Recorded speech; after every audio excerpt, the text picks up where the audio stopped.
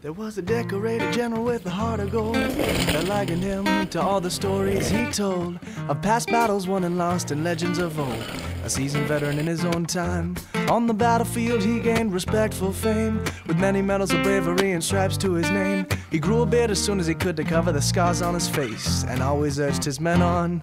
But on the eve of a great battle with the infantry and dream, the old general tossed in his sleep and wrestled with its meaning. He awoke from the night to tell what he had seen and walked slowly out of his tent.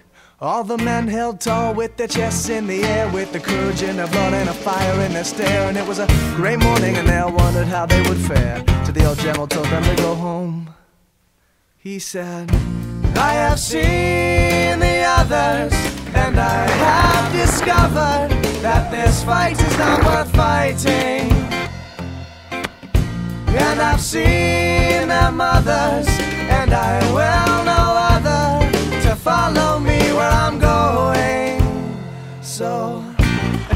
shower and shine your shoes. You got no time to lose. If you are young, then you must be living. Take a shower and shine your shoes. You got no time to lose. If you are young,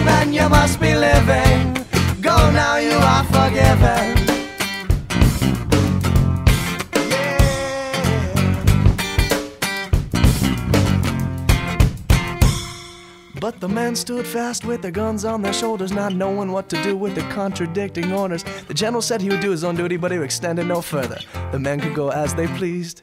But not a man moved, their eyes gazed straight ahead till one by one they stepped back and not a word was said. And the old general was left with his own words echoing in his head. He then prepared to fight. He said, I have seen the others, and I have discovered that this fight is not worth fighting.